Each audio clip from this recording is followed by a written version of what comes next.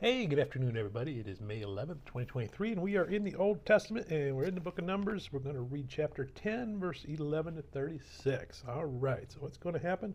Hey, it's the big day. They're getting ready to leave Mount Sinai. Uh, two years in the making, two years of commandments and, and being instructed to build things and, and, build the tent of the tabernacle and build all the utensils and how are they going to carry them and, and uh, this and that. Again, two years of preparation, and now it's come down to the cloud is getting ready to lift and move. They're going to break camp and they're going to start their wanderings. There's one little section in here that uh, that probably needs to be called out. We're going to get to a point where they talk about Moses talking to Hobab, the son of Reuel the Midianite, Moses' father-in-law. Wait a minute. Didn't we already see his father-in-law? Wasn't his name Jethro? All right. Yep. And and I guess the best explanation is for it is, is Reuel and Jethro is probably just two names for the same person because we see that all the way through here that people a lot of times have two names. A little stickier is is that name Hobab because the son of his father-in-law would be his brother-in-law, But somewhere down the line when we get into Judges, we're going to see him again, and then he's called the father-in-law. And it's like, okay, that's a little bit harder to explain.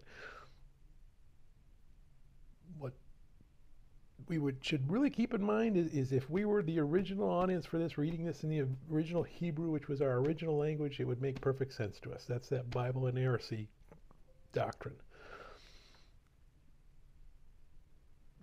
Why is it different for us now? Probably what happened in the original Hebrew, they don't have vowels. So the original Hebrew word for brother-in-law without vowels and the original Hebrew word for father-in-law without vowels is identical. So somewhere along the line, we probably someone shifted something and, and lost track of something, and that's why we probably get these two different names. Now, what does that have to do with anything in the Bible? Well, good news, not a whole lot. Doesn't really matter if it's the brother-in-law or the father-in-law. Basically, what we want to see is, is Jethro, his father-in-law's people. Well, they helped him out a little bit, but when it came time to, to continue on, they said, you know what, we're going to go back home. Good luck. Our, our, our future is not with your future.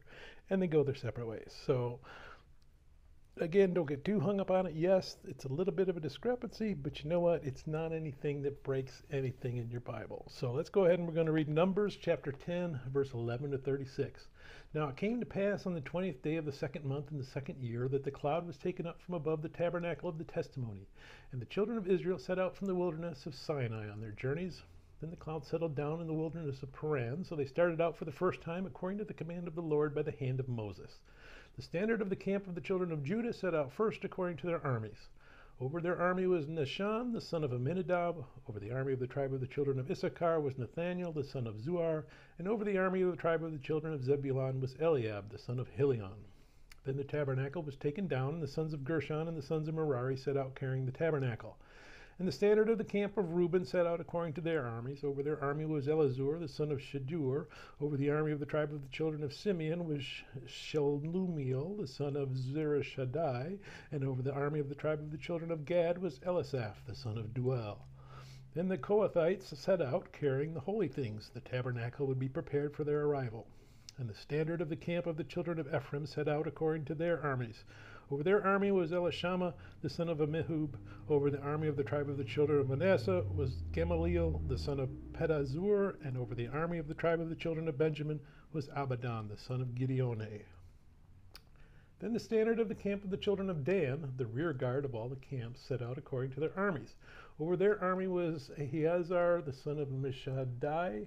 Over the army of the tribe of the children of Asher was Pagiel, the son of Ocran. And over the army of the tribe of the children of Naphtali was Ahira, the son of Enan. Thus was the order of march of the children of Israel according to their armies when they began their journey. Now Moses said to Hobab the son of Reuel the Midianite, Moses' father-in-law, We are setting out for the place of which the Lord said, I will give it to you. Come with us, and we will treat you well, for the Lord has promised good things to Israel. And he said to him, I will not go, but I will depart to my own land and to my relatives. So Moses said, Please do not leave, inasmuch as you know how we are to camp in the wilderness, and you can be our eyes. And it shall be, if you go with us, indeed it shall be, that whatever good the Lord will do to us, the same we will do to you.